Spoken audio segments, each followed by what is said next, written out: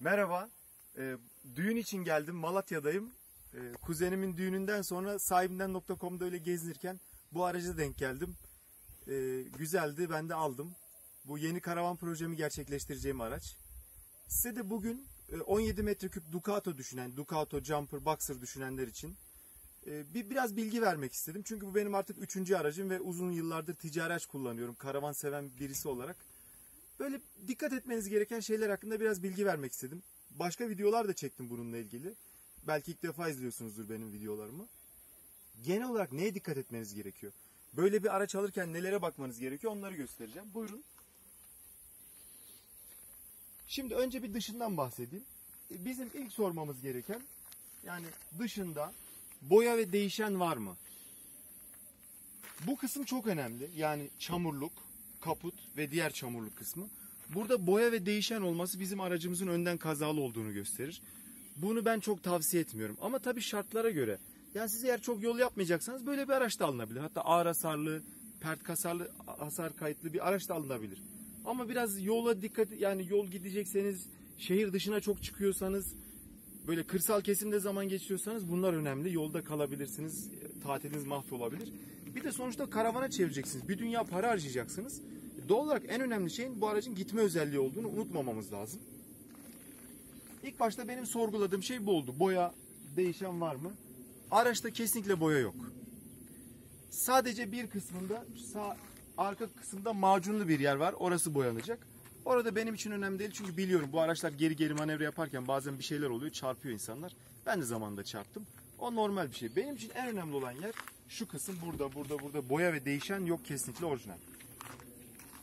Daha sonra kilometresine bakıyoruz. Kilometresi bu aracın 253 bin kilometrede. ideal. Yani 2014 model e, 17 metreküp Ducato. E, 134 bin liraya aldım bu arada. E, biraz masraf var. Masraflarını da halledersem bana 140'a falan mal olacak. E, kesinlikle masrafsız bulmak çok zor oluyor. Çünkü ticari araçlar genelde böyle kullanılıyor, kullanılıyor, kullanılıyor. En son masraf açma dönemine doğru hadi diyorlar bunu satalım. En basit lastikler. Ya lastikler var. Şu an tahminim 6 milim falan diş derinliği var. Ama yani bir sezon geçirir, ikinci sezon eskiyecektir. Ve lastikleri bunların pahalı. Ama lastikler fena değil. O yönden ben bunu masraf olarak görmedim. Onun haricinde kapıların açılması falan gayet güzel.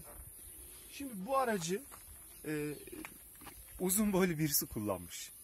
Çünkü ben geldiğim zaman koltuk ayarı en sondaydı ve en sondaki kasaya iz yapmıştı artık. Bu koltuğun sürekli şeyde kullandığını gösteriyor. Ben de tahminlerimde haklı çıktım zaten. Aracı aldıktan sonra dedim ki kardeşim ben artık aracı aldım. Bana neyin masrafı varsa söyleyin. Aracı artık aldım yani geri iade edecek halim yok. Ama bana söyleyin ki ben yaptırayım. Çünkü ne kadar anlasam da gözümden kaçabilir. E, ne eksiği varsa söyleyin dedim. O da abi dedi biz yağını e, işte bin kilometre var. Yağını değiştirsen iyi olur hele ki uzun yola çıkacaksan. Tamam dedim. Sonra zaten yağ kartını da buldum. Adamın dediği gibi 800 kilometresi kalmış. Yağını değiştireceğim. El, el frenin ayarı benim hoşuma gitmedi. Bu basit bir şey. Bunu ben de yapabilirim. Sanayide de yaptırabilirim. Onun haricinde koltuk biraz aşınmıştı. Koltuğun aşınmış olması e, bu aracın çok dur kalk yaptığını gösterir. Zaten e, böyle bir e, züccaciye mağazasında kullanılmış. İşte plastik sandalye, masa falan götürüp getirmişler. Tabak, çanak götürüp getirmişler. Adamın söylediği e, bilgilerle uyuşuyor. Ben daha sonra bunun doğruluğunu kasada araştırdım. Kasada gerçekten montaj vidaları buldum. Yani bu plastik masaların falan montaj şeyleri olur. E, böyle yatakların falan. Onları buldum. Adamın da doğru söylediğini biliyorum. Zaten Malatya küçük bir yer. Herkes birbirini tanıyor. Bir şey olduğu zaman bağlantıda bulabilirsiniz. Şu koltuğun aşınmasını adamın iri yer olmasına ve ağır olmasına bağladım. Çünkü koltuk biraz aşınmıştı. Ben kılıf yaptırdım. Açık renk bir kılıf tercih ettim. Ee, onun haricinde di- direksiyondaki aşınmayı ben göstereyim size. Arkadaşlar bakın bu 250 bin kilometredeki bir araç. Bu size bir e, veri olsun. Bakın bu ne kadar aşınmış. Görebiliyor musunuz? Vites topuzu ne kadar aşınmış. Bakın bunu neden söylüyorum? Bu araç 250 bin kilometre bu kadar aşınmış. Eğer siz bir araba gördünüz adam yazmış 130 bin kilometre ve bunun kadar aşınmışsa o araç 130 binde değildir. Çünkü benim bundan önceki aracım 100 170 bin kilometrede satıldı. Onun direksiyonunda aşınma hiç yoktu. Ben kılıfla seviyorum kullanmayı çünkü elim daha rahat ediyor. Vites topusunda ise hiç aşınma yoktu. Şuralarda filan da bir şey yoktu. Tuşlara filan dikkatli bakarsanız tuşlarda da aşınma yok. Şimdi Ducato'nun bazı kronik sorunları oluyor. Birincisi bu bu sistem çabuk bozulur. Bu. Ya 50-60 lira, 100 lira, 110 lira artık son zamlardan sonrasını bilmiyorum ama bu masrafınız var. Kapı tuşları bozuluyor. Neden bozuluyor? Buradan yağmur geliyor. Kapı açıkken buraya yağmur geliyor. Bu tuşlar bozulabiliyor. Bu tuş takımı da çok pahalı bir takım değil. Bu sol sinyal ya da sağ sinyal genelde takılabiliyor. Bu da dediğim gibi çok pahalı değil. Biraz VD40 ile onun az takılmasını da sağlayabilirsiniz. Bunlar iç kısmı ile ilgili Ducato'ların kronik sorunları. Bu isterseniz e, 2000 yani 2014 öncesi ve sonrası diye de ayırmaya gerek yok. Bunlar oluyor yani. Bu sinyal kolun takılması e, bir de bu e, tuş takımı oluyor. Dediğim gibi bu benim artık üçüncü Ducato'm. Her biriyle 10 bin kilometre yaptığımı düşünsek. Arkadaşlar heh, kaput hakkında da bilgi vereyim. Kaputu açtık. Sen devralır mısın? Şimdi kaputu açtık.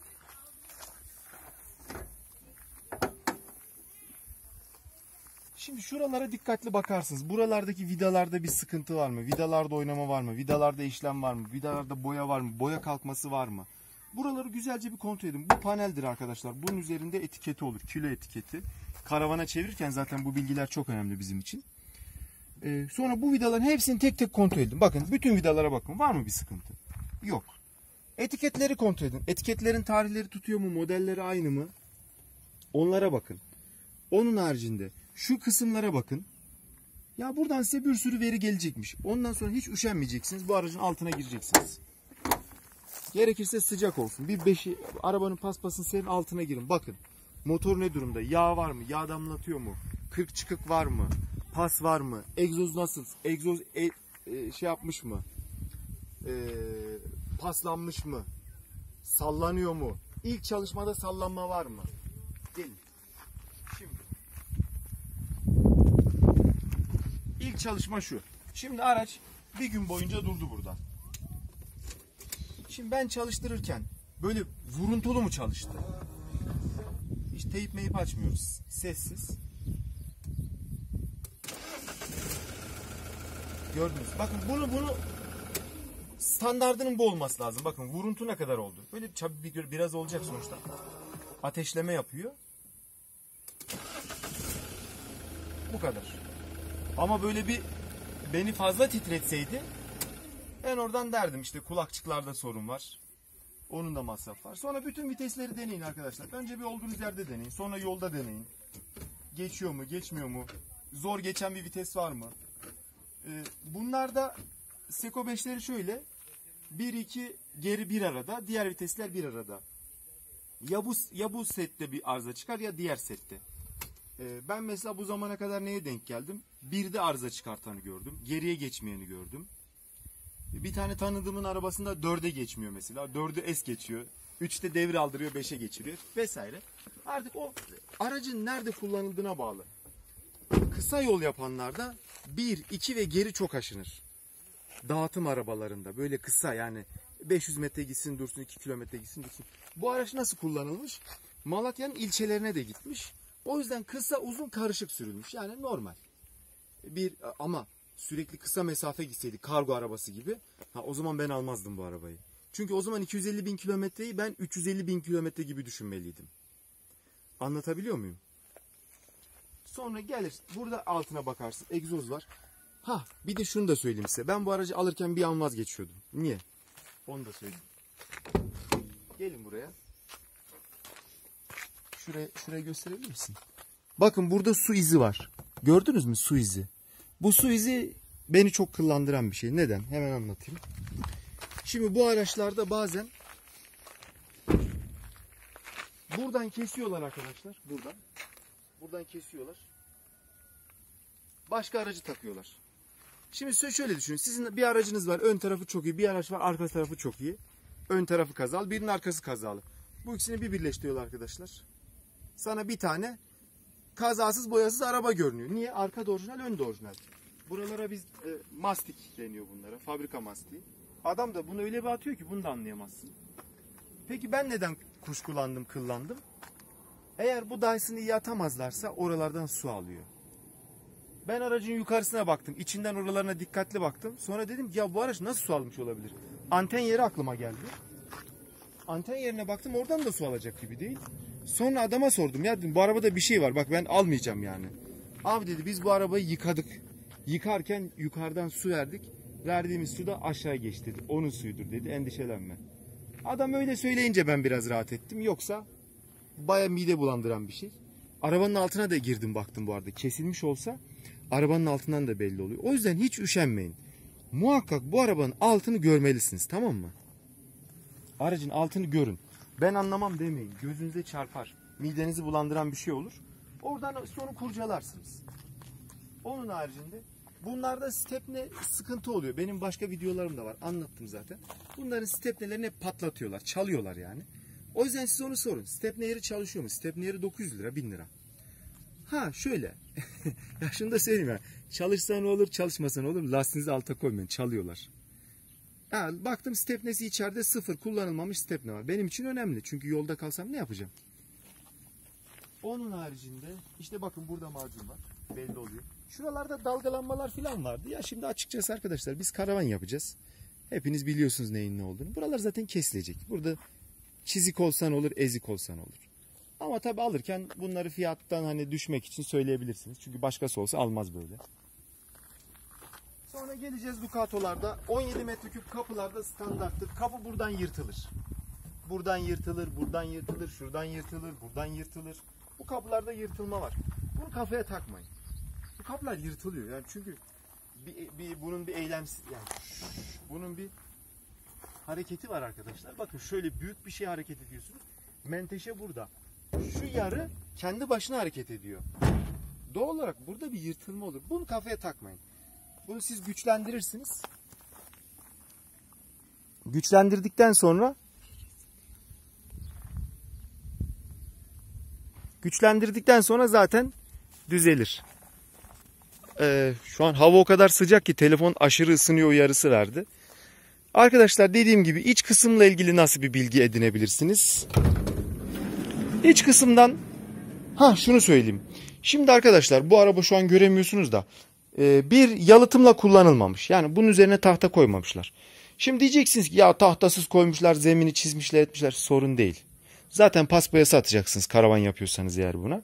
Bu arada bu ara bölmesi. Ara bölmeyi söktüm. Arkadaşlar şu çok önemli. Tahta koyup üzerine 3 ton da yük koyabilir. Tahta koymamış üzerine hafif yükler de koymuş olabilir. Şimdi bu tahta konulmamış ve üzerine hafif yükler konulmuş. Nereden anlıyorum? Eğer ağır yük olsaydı bu çökerdi. Bu bildiğiniz saç. İnce bir saç altında bir şey yok. Ya zaten başka arkadaşlarımın da var. Bir arkadaşım var mesela o da YouTube'dan takip ediyor beni. Onun arabasında bildiğin göçük var. Ortası göçmüş. Demek ki çok ağır şeyler koymuşlar.